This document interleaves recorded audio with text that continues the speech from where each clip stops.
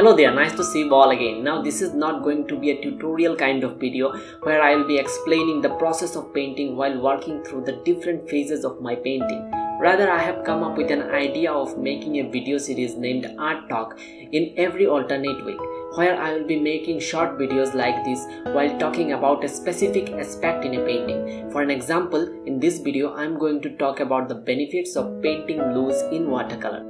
Now, painting loose means you will be painting the values rather than forms, and I think this goes quite well with the character of watercolor as it was supposed to be used as a quick medium and was practiced in the similar fashion for a number of years by the old masters.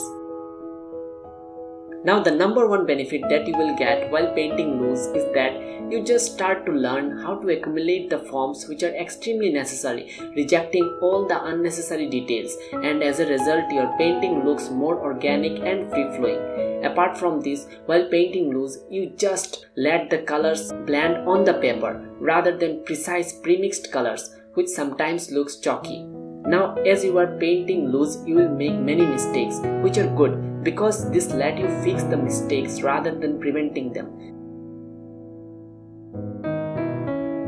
Now watercolor is all about controlling the water. Your painting will reflect your ability to control the water. Now there is a misconception that some people carries that you must paint very precisely while painting in watercolor to control the water. But this is not true.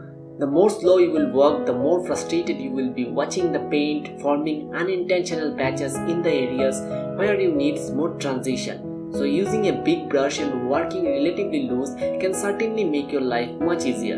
Another benefit of working loose with watercolor is to enjoy the beauty of accidental errors, where the water and the pigment creates mind-blowing effects which will take years for you to create intentionally.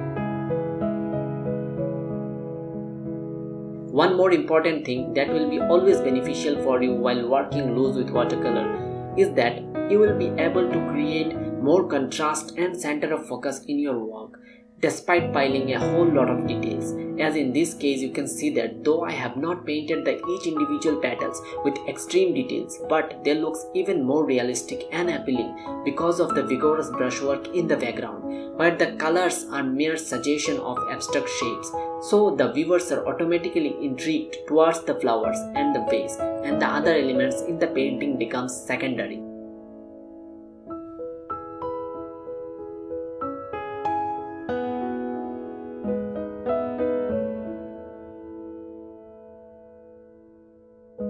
Anyways, the paper is yours, the paint is yours, so just go and explore the beauty of painting loose with watercolor and find your very own kind of benefit that is yet to be revealed.